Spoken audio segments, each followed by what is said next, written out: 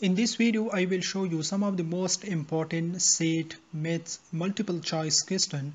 If you are preparing for the SAT, this video would be very important because in, because in this video, I will cover some of the most important maths question for SAT test. So the first question which is from the SAT practice paper is if 3 by y plus x by 2 is equal to 10, then 6 by y plus x is equal to what? So the following or the, the following are the uh, options.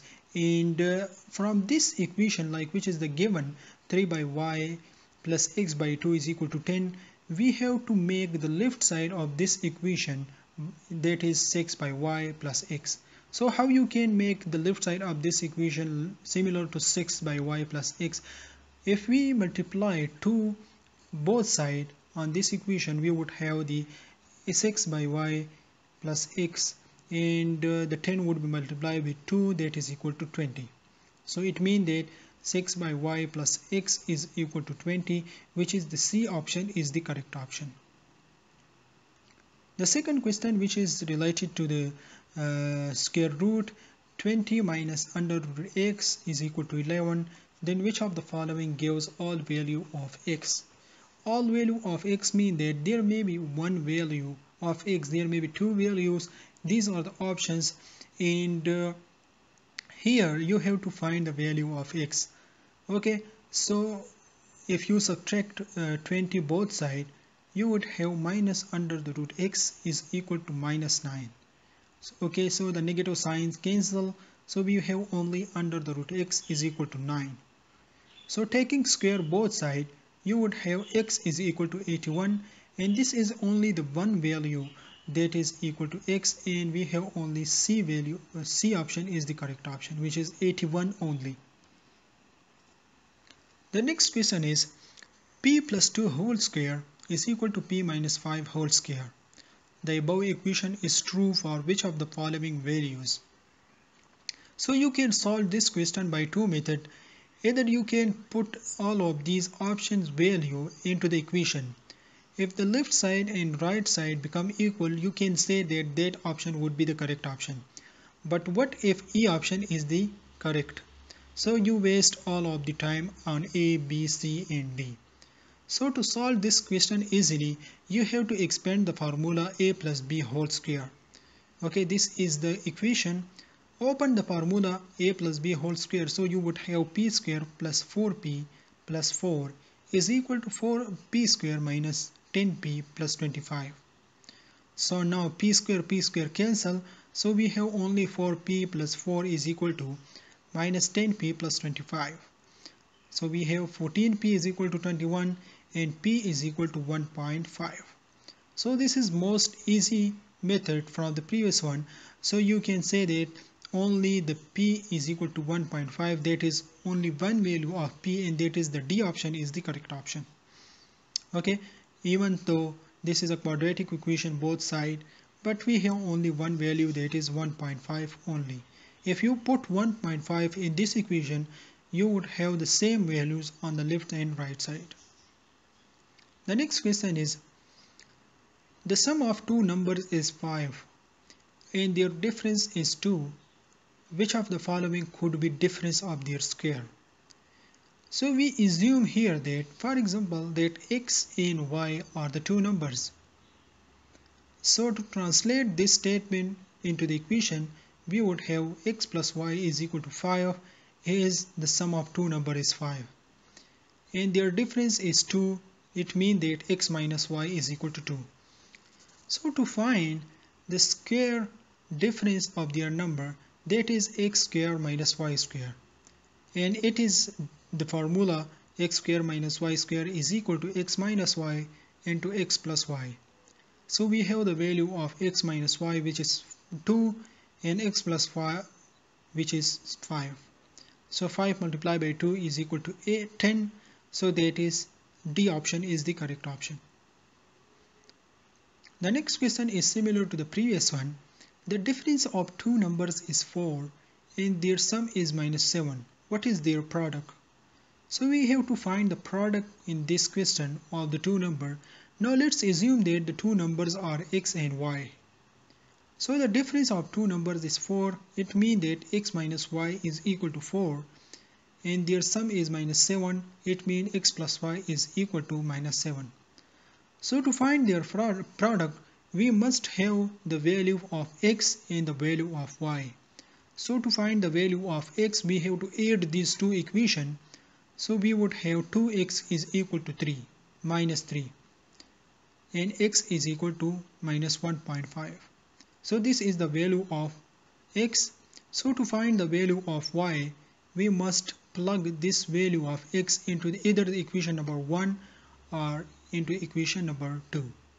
So let's put it into the equation and it would have minus 1.5 minus y is equal to 4 and the y value is 5.5 so now this is the x value this is the y value. To find the product that is x into y multiply these both number and we would have positive number which is 8.25 so the D option here is the correct option. The next question is if 5 power x is equal to y and x is positive, which of the following equals 5 y square in term of x? So now we have this equation 5 power x is equal to y and we have to find the value of 5y square. So, so from the left side of this equation we cannot make uh, 5y square from the 5 power x so we have to make 5y square from the right side of this equation. So how you can make it? So taking square both sides, so you would have 5 power 2x is equal to y square. Now we have to multiply both sides by 5. So we have 5 into 5 power 2x is equal to 5y square which is equal to 5y square is equal to 25 power 2x. So it means that 5y square is equal to 25 power 2x which is exactly the C option and this is the right answer. The next question is if y is equal to 3x then the value of 10 square of y is. So we have to find the 10 uh, percent of y okay that is not square if y is equal to 3x then the value of 10 percent of y is okay now so here you can see that these these are the option and you know this that percent is mean percent means to divide by 100 so it means like 1 divided by 100 percent is equal to 1 divided by 100 okay? So uh, 10 percent is equal to 10 divided by 100 which is equal to 1 0.1 okay? Now the value of 10 percent of y so meaning that 10% multiplied by y because 10% is equal to 0.1. So we have the value of y which is 3x. So put the value of y. So we would have 0.1 multiplied by 3x and that is equal to 0.3x. So the B option is the correct option. If n is an odd integer, which of the following must be an even integer? so this is the most easiest question in this video like if you choose n is equal to 1 and put uh, the value of n in all of these options you would have only one option that give you the even number. The rest of all will not give you the even. It will give you the fraction or it will give you the odd numbers. For example if you put n is equal to 1 into the uh, into the option n divided by 2 which is a it will give you 0.5 which is not an even number if you put in b this will give you the 7 which is not an even integer. If you put n is equal to 1 in equation in the option c that will give you the 4 and it is exactly the even integer. So c here is the correct option. The next question is 7, 7 power 9 plus 7 power 8 divided by 8 is equal to what? So in this question you don't need to use the calculator or rough work. So on instead of 7 power 9 you can write 7 power 8 multiplied by 7 plus 7 power 8. okay so you can see here in the numerator that 7 power 8 is common so take common 7 power 8 so you would have 7 plus 1 uh, and that is multiplied by 7 power 8 divided by 8 so 7 plus 1 is equal to 8 okay so now 8 8 cancel. So you have only 7 power 8 so this is the correct option.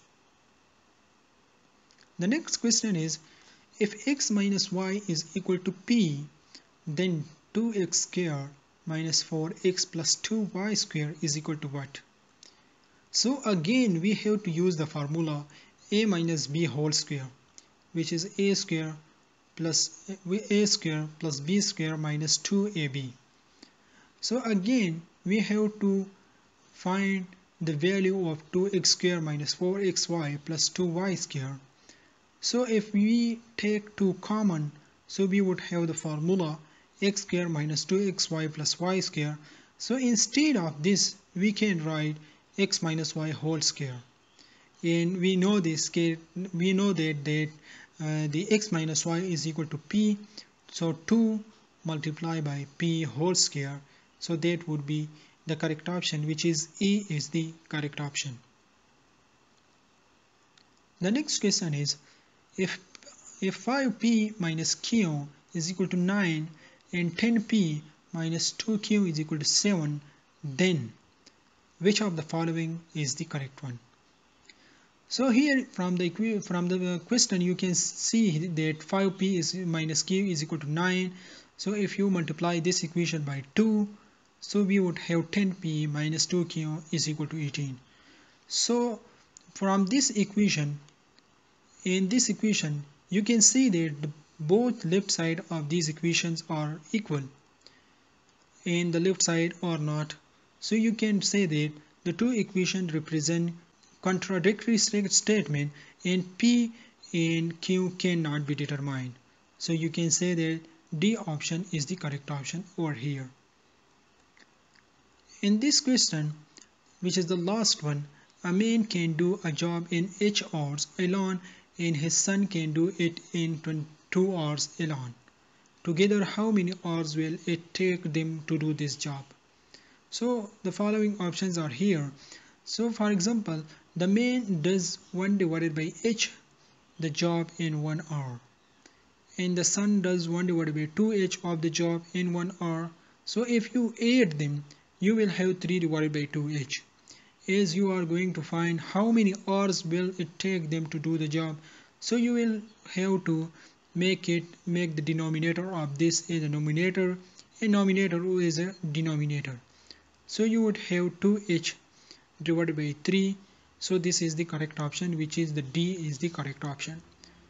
So in this video we have discussed the SAT maths most important question and I hope you learn something most important from this video. Thanks for watching.